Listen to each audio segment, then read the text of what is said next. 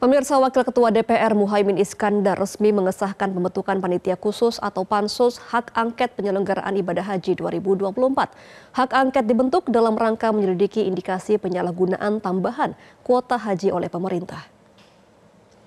Pansus hak angket haji 2000 2024 disahkan dalam rapat paripurna DPR di Gedung DPR Senayan, Jakarta pada hari ini. Muhaimin Iskandar hadir sebagai pimpinan rapat.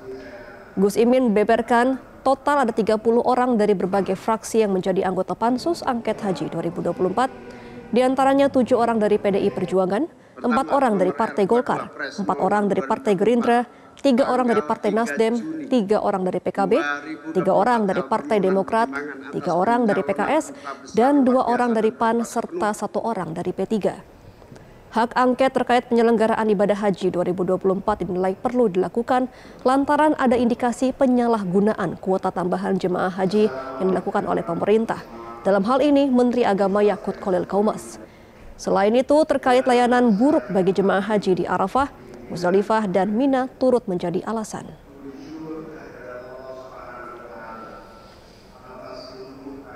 Mulai besok akan disusun uh, roadmap kerja panitia khusus angket haji ini yang akan melibatkan nama-nama yang sudah ada tadi dari seluruh fraksi-fraksi yang ada di DPR yang akan bekerja dalam waktu secepat-cepatnya dan menyusun target-target agar kesalahan pelaksanaan haji tidak terulang-ulang di setiap tahunnya. Jelajahi cara baru mendapatkan informasi. Download Metro TV Extend sekarang.